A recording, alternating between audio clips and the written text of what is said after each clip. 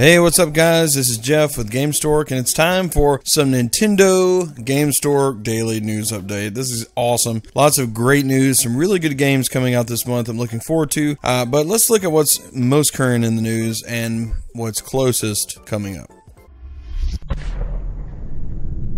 GameStork, delivering news, reviews, and playthroughs like a newborn baby. Well, first and foremost, I typically don't do these inventory updates, but if you are looking for a Nintendo Switch and you haven't been very lucky, it looks like GameStop is going to have a shipment of uh, just regular Nintendo Switches. Now, these will not be in bundles, and this is a good, you know, good news for those of you who have been waiting and didn't want to buy a bundle for four or five hundred dollars that have things that you probably would buy anyway. Uh, but obviously, the bundles start at four four nineteen. 99 and you can get the system on its own for 299 so if you're looking for this system hit gamestop up tomorrow your local gamestop uh, on august the 15th and see what they got because they should be getting in a new shipment of Nintendo Switches. Something else that's really cool in the news is the fact that on a Japanese site, they've decided to, the, the Nintendo company obviously has decided to start doing pre orders for Japan through the internet due to the high demand. Now, the cool thing about this is you actually get to go on and customize the colors of your Joy-Cons, which means if you're like me and you like the colors of your Joy-Con to match sometimes, you know, uh, and you don't want to go buy a second set just to have one matching one for another one, which is, you know, 80 bucks twice, $160 for two sets to have matching Joy-Cons. Uh, yeah, you know, that's kind of tough sometimes. But you actually get to get on, pick the colors you want. Even if you want to mix, mix match, you can do that. Uh, and it's really neat. Uh, this is something I would love to see here um, to, for us to be able to do, just to buy Joy Cons for that too, not just for the system. I wish Nintendo would do that. There are places online that offer these, but the cost of customization is kind of high, and you'll wind up paying about $120 for the set of Joy-Cons instead of 80. Now, understand if you're looking at a professionally done job of customization, something that looks like it comes from a company, yeah, yeah, I get it that they do need to get paid and they have to, uh, you know, purchase the things, the paint and things like that, the finish to do this, and also labor. I get it, but I would like to just see, you know, the color Joy-Cons that I would like to have for 80 bucks. But this site is really cool. I'm very excited about it. And you know what? I'm excited about it because of the possibility of it coming here. Uh, the possibility of them doing what Xbox did with their controllers and making them fully customizable and you can order them. Man, I will order so many sets of Joy-Cons if I can customize these things and really just dress them up, you know, really cool like I want them, theme them after my favorite games, my favorite teams and sports, and a whole bunch of other things. And that's really exciting. Now, for those of you who are waiting for some really good games to play, there are some coming out this month. But I do have something that's really great news for you Batman fans out there. This isn't coming this month, but the pre-orders have officially opened, and uh, you can now pre-order the Batman the Telltale series for the Nintendo Switch. It's in GameStop system online, and it is available to pre-order. And this saga's been going on for quite some time, and this is just awesome. Yeah, and apparently to correct this, you'll have to go inside of the store. It's not on their website. So you have to go in the store and pre-order inside of the store. And this set, this game is set to release at $40 according to their system on October the 3rd. So that's at the beginning of October, which is Mario month. And that's really cool. It's really exciting to me. And uh, I'm hoping that this game runs really good. I'm hoping that it's great, uh, just a great overall game. I've yet to get around to playing this one, but I do love Batman. I love DC and Marvel. I'm more of a Marvel guy, let's just be honest. Uh, but I do love DC as well, and I do like Batman. Uh, so I'm looking forward to seeing what this game has to offer. Telltale does a wonderful job with their games, and I'm sure that this is going to be one uh, that would make a great addition to the library on the Nintendo Switch. So it looks like Unepic is uh, heading to the Nintendo Switch, also Ghost, and this is a pretty cool game. At this point, I, I can't lie to you, I don't know a whole bunch about this outside of the title, uh, and once I do, I might include this in the next video, but I just wanted to put this in here saying that it is coming. Uh, you can look this up and check it out. Uh, and it seems to be a pretty cool indie game. Well, it looks like Sony's Jim Ryan thinks that it's really great to see Nintendo doing well again. I guess they're okay with this because the idea that Sony has um, is that Nintendo is a supplemental system and that it can't do what the PS4 and the PS4 Pro can do. So it offers something different. So it's not necessarily a threat to their success. And uh, you can't say that the Switch isn't doing well. I still see people online who are complete idiots, let's just face it, who say the Nintendo Switch is going to die, it's going to fail, it's going to be terrible. And I'm like, hey, bro, you know, the financial results that came out in July for the first quarter, in just one quarter, selling 4.7 million units.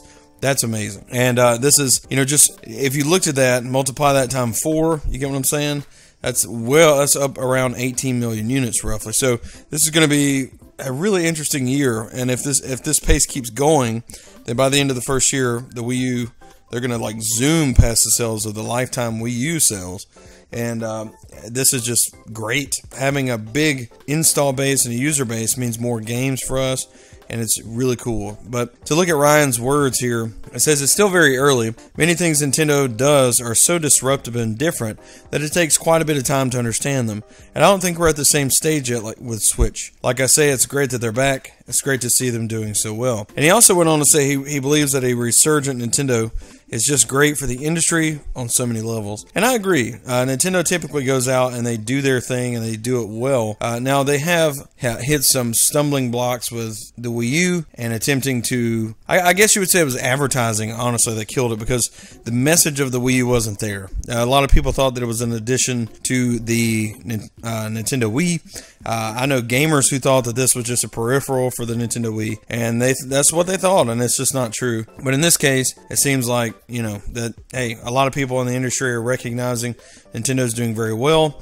Uh, we should all be recognizing that they're doing very well, and the more people who purchase consoles, uh, you know, the more likely we are to see a lot of big third-party support and things like that. So if you're waiting on Rime for the Nintendo Switch, uh, Cody Bradley discusses Rime. He, he went and did an interview. Well, I say an interview. He posted in response on their website. So on the game's website, he did post a letter saying what's been going on and how the Switch SKU didn't exist and they started this game after August of 2016. So it took a, a, long time to wrap up the development they already had on the other systems. Things, you know, as far as quality standards, the uh, things that they guessed on or, you know, gave a good guesstimation as to how it would run on the Switch. They said it didn't quite match up and they had to make a lot of adjustments.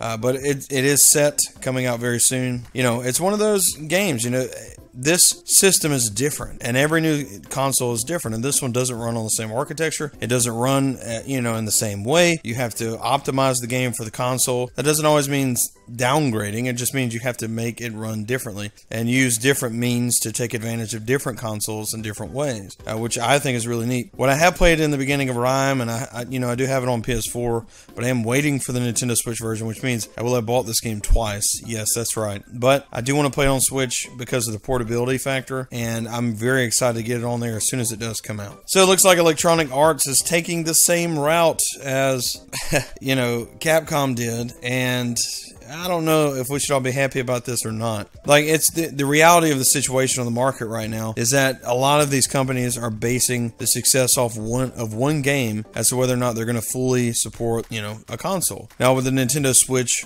obviously Capcom launched Street Fighter 2, and I was really worried about because I was like, man, Street Fighter 2 is probably not going to do that well because it's a remake of Street Fighter 2, you know, and if they're hoping for huge success, it probably wouldn't happen. Well, to my surprise, and probably your surprise, and everyone's surprise, they sold 450,000 plus units of Street Fighter 2 on the Nintendo Switch. Well, it looks like EA is taking the same approach with FIFA 18, and they said FIFA 18 will determine how much they support the Nintendo Switch. So if you're one of those people who want all the EA sports games like Madden and things like that running on the Switch, then I guess what you need to do is cast your vote by purchasing FIFA 18, um, which, you know, I guess it's not so bad because they are a business and businesses have to make money and they have to make sure that the systems viable for their games. But for me, I'm not a huge FIFA guy. I am a really big Madden guy, and I'm a really big UFC guy as far as gaming. I love those games, and I would love to see UFC brought over. I would love to see Madden brought over, especially the new one. And uh, it's, it's one of those things. I remember when I got Madden for the PlayStation Vita when it first came out, I was like, yes, finally, a full Madden game on the go. And then I turned it on, I was like, oh no, this is terrible. like, it just wasn't good And I know the Nintendo Switch would be capable of so much more. So, what I am going to say about this is, although it does anger me a little, that you know, I'm like, oh man, do I really need to purchase FIFA 18 in order to have a hope of seeing Madden on here? Is that fair to me as a consumer? Well, at the same time, when asking those questions, I have to understand that they need to know that they can make money. And if it means me casting my vote to have those games in the future, I'm willing to purchase FIFA 18. And I hope that you are too. And it's not like that's a bad game. That's, you know, maybe this is the system that I get into FIFA on, you know, because I can take it with me on the go. Great matches. It's supposed to run very well and look good.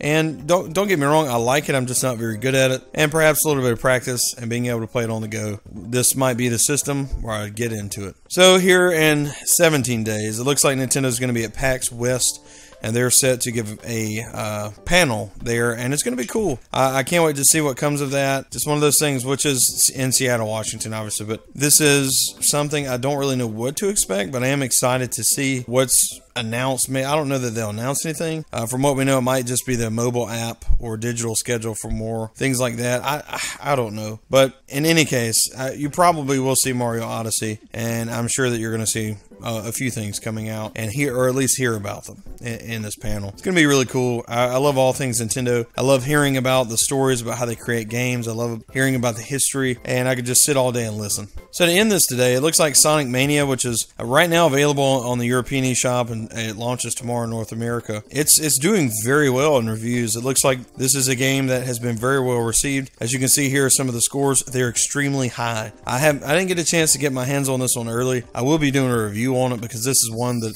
I, I, do have a passion for this, and I'm excited to see you know what comes of it and how good it really is. But looking preemptively at these scores and realizing that you know this is a affordable game at 19.99, this is really awesome. So I'm really excited to play this. I can't wait. I might go ahead and go get it on the European eShop so I can start today. I will do a let's play on it, and I think you should go pick it up too because Sonic Mania looks awesome. Anyway, that's gonna do it for the news today. Thank you guys so much for watching. Be sure to like and subscribe below if you haven't already, and I really appreciate you, and we'll see you next time.